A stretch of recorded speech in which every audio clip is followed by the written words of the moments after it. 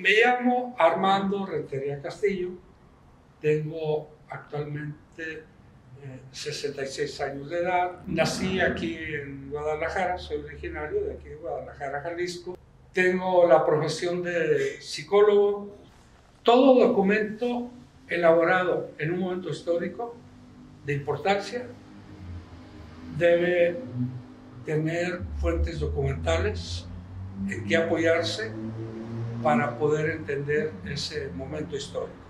Más allá de todo el significado implícito que tiene el archivo, de que en él se contiene, pues, este, yo le digo así, como decían los compañeros, el OCEA, las CEBAS, ahí está contenido el cerebro pensante de aquel entonces.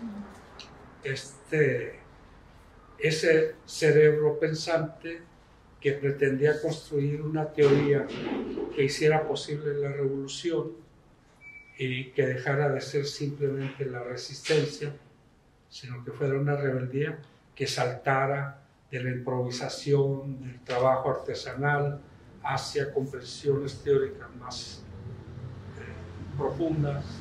Y por supuesto que la voz que menos querían escuchar en ese entonces era una voz organizada y armada como la de la nuestra, de aquel tiempo. De manera que esos papeles contienen dentro de ellos pues sangre, están relacionados con la, la persecución, la tortura, la desaparición. Es increíble que haya gente desaparecida tan solo por haber tenido en sus manos maderas o documentos así. Es increíble que muchos de los compañeros de la liga que nunca realizaron una acción guerrillera como tal estén desaparecidos nada más porque eh, eran parte del equipo de redacción de madera.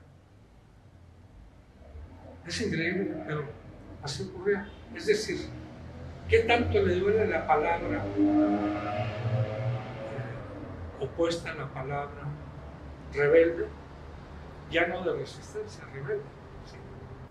Tan solo por oponernos, por estar en contra de lo que ocurría en aquel entonces, pues había que combatirnos y exterminarnos por completo. Por supuesto, lo primero que hacían era pues quemar todos los papeles, todos los documentos, porque para ello lo fundamental era que nosotros no existíamos más que como delincuentes. Mm. Y los documentos lo que hacen es manifestar, mostrar que nosotros no éramos delincuentes, que traíamos, que éramos portadores de ese cerebro pensante. Todo este archivo que muchos compañeros me han sugerido que el nombre de todo, todo el archivo sea Luciano Rentería Estrada, por ser alguien a quien le debo la vida, muchos, eh, lo, se fue guardando y conservando a partir de la iniciativa pues, de muchos compañeros. No fue solamente una persona, muchos de ellos eh, en tiempos en que el riesgo para la vida era mayúsculo, no podías tener en tus manos un solo documento de esos porque eh, te costaba la vida, te podían torturar, encarcelar, desaparecer.